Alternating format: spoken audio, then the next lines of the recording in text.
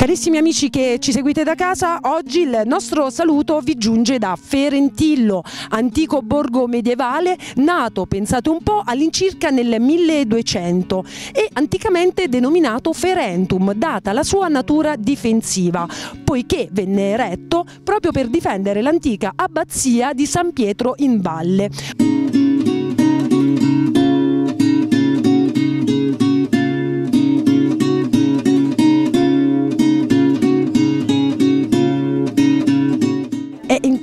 Compagnia dello storico Giovanni Tommasini eh, vogliamo approfondire quelle che sono le radici storiche appunto di Ferentillo. Giovanni.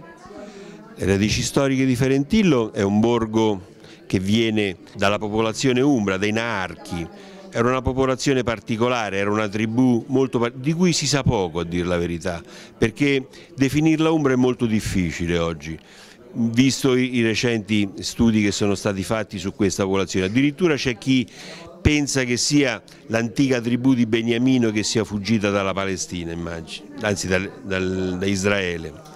E subito dopo vennero la tribù Quirina qui a, a Ferentillo, dopo il periodo della caduta dell'impero romano ci fu il periodo dei Longobardi, quindi eh, lo sviluppo intorno all'abbazia alla di San Pietro in Valle.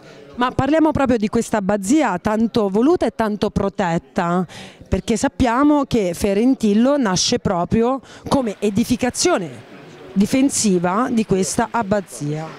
Sì, Ferentillo, le rocche di Ferentillo nascono appunto per difendere l'abbazia, c'era stata eh, un'incursione saracena e quindi eh, l'abbazia eh, pensarono bene di difendersi, quindi misero dei castelli in posizione strategica e questi castelli servivano appunto a proteggere il vero nucleo pensante di tutta la Valnerina che era l'abbazia di San Pietro in Valle. Luogo dove i nostri monaci salvaguardavano quelle che erano le origini culturali ma non solo, anche per la sopravvivenza della comunità, autoproducendo eh, prodotti che servivano appunto al mantenimento della popolazione. Ma, ma approfondiamo un po' questo discorso Giovanni. Sì, eh, la, la Basia di San Pietro in Valle appunto era, era il centro ehm, pensante proprio della Valnerina. Era qui che fu pensata la, bonifica della valle subito dopo le incursioni barbariche e quindi le coltivazioni, ma la cultura, ma la conoscenza e quindi veniva tutto coltivata qui. Qui si coltivava un'altra cosa molto importante, si coltivava il potere perché qui c'era il posto del potere, era l'abbazia che stava alle spalle della, di Spoleto ed era colei che, che era, a cui era demandato il compito di proteggere le spalle a Spoleto. Se si pensa a Ferentillo si pensa ad un luogo legato eh, sia all'agricoltura ma anche alla pastorizia e di Flaminia. Perché si parla di Flaminia? Perché la Flaminia transitava esattamente a 500 metri da Ferentillo in linea d'aria, transitava sotto il paesino di San Mamiliano che si trova qui sulla collina. Lì era il vecchio tracciato della, della, eh, della Flaminia, una strada che univa queste, questa valle con Roma. Si dice che addirittura furono dei pastori umbro-sabini che fondarono Roma. E in questa, in questa via fu, fu, fatta poi dal console Flaminio, chiaramente eh, la, la, strada Flaminia.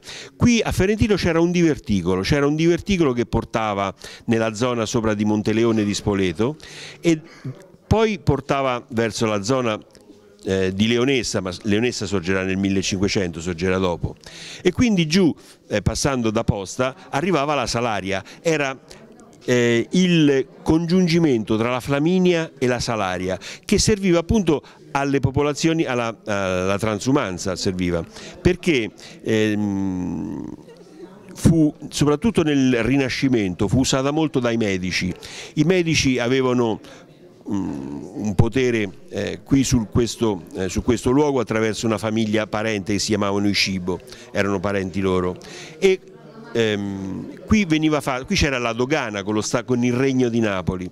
E su questa dogana avveniva un sistema di tassazione molto particolare, mentre i panni di lana che venivano da, dalla Toscana, questa era la via della lana tanto per intenderci, mentre i panni che venivano dalla Toscana venivano tassati a soma e quindi praticamente contavano i somari tanto per intenderci, i panni lombardi, i panni che venivano invece dalle altre zone, venivano tassati a pezza e quindi c'era una tassazione quadrupla rispetto alle altre, oltre ovviamente il fastidio di dover tirare giù tutte le pezze, contarle eccetera.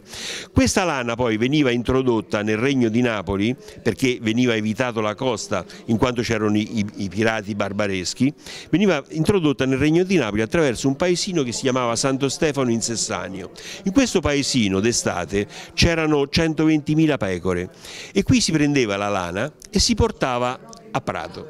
A Prato veniva mescolata con la lana inglese e con la lana eh, belga e in questa maniera veniva fatto il panno toscano. Quindi un paese come questo Ferentillo che rappresentava un punto di snodo tra la Toscana, l'Umbria, l'Abruzzo e il Lazio. Esatto, lei immagini che all'archivio di Stato di Terni eh, c'è una sezione dedicata ai notai ferentillesi, perché un luogo come questo era pieno di notai, che sembrerebbe strano. Lei immagini che la sezione di Ferentillo è più del doppio degli altri comuni limitrofi messi insieme. Quindi questo le dice il volume degli affari che giravano qui in, a Ferentillo. Abbiamo uh, visto uh, tre roccaforti venendo qui a Ferentillo. Come facevano a costruire queste fortezze a queste altezze e senza avere i mezzi che abbiamo oggi? Beh, allora c'erano i muli, e, e, soprattutto la manodopera costava molto meno rispetto a quella odierna. La rocca del precetto soprattutto è la più importante, perché vede, se lei va sulla cima del castello, di quella rocca, lei vedrà esattamente il castello di Narni la Rocca di Narni. Infatti andando alla Rocca di Narni e guardando verso la Valnerina appare immediatamente il castello di, del, del precetto e quello era il punto di segnalazione. Quando da Roma arrivava il pericolo, dal castello di Narni mandavano i segnali che venivano letti immediatamente qui a Ferentillo e dopodiché attraverso la montagna, attraverso una serie di torri, inviati a Spoleto. Quindi quando da Narni, quindi con due giorni di cammino, arrivava il pericolo, Spoleto lo sapeva con due giorni di, in anticipo.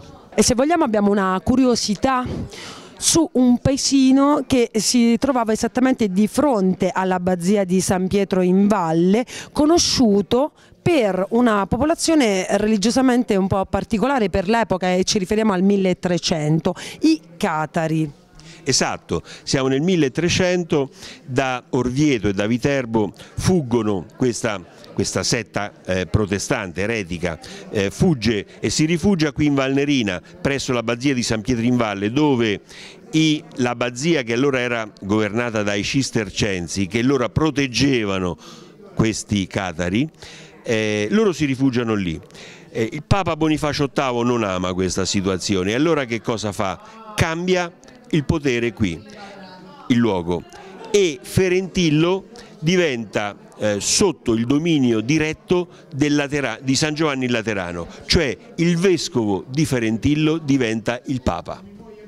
E i catari eh, erano considerati eretici, ma da Bonifacio VIII e da tutti, ma perché erano considerati eretici questi poveri catari se vogliamo? Beh erano simpatici, devo essere sincero, loro, eh, loro innanzitutto non credevano nella verginità della Madonna e, e poi credevano appunto nella natura duale di Dio, cioè credevano Dio uomo e Dio, cioè un Dio che fosse entrato nel, eh, in un corpo e quindi non riconoscevano l'ascensione al cielo, cioè che Dio che sale al cielo in corpo e anima.